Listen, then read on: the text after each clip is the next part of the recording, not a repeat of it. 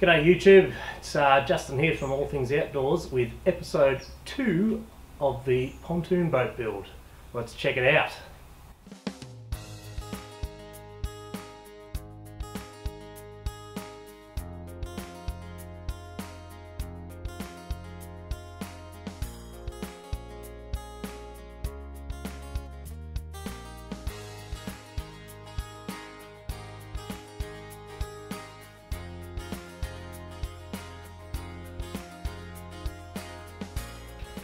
So what I've been doing today is uh, cutting up the uh, aluminium that I've got, sorry, or aluminum for my American viewers.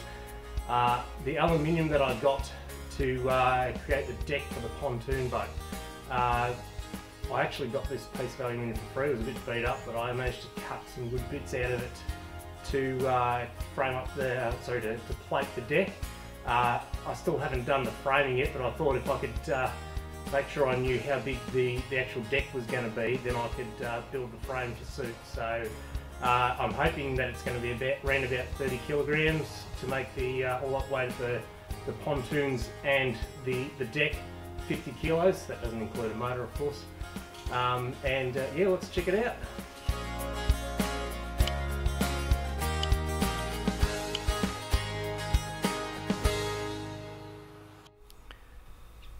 So the sheet of aluminium that I got was about 1300 millimeters by about 2500 millimeters.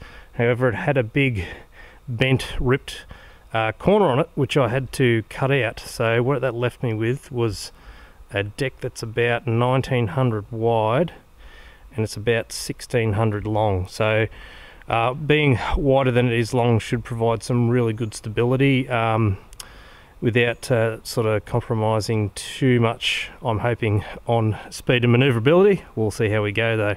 But uh, yeah, this is what I've come up with so far. Unfortunately, I had to uh, get two extra bits, and then I'm going to have to um, use the frame to uh, to sort of screw them on up the front there and uh, make the, the deck a little bit longer.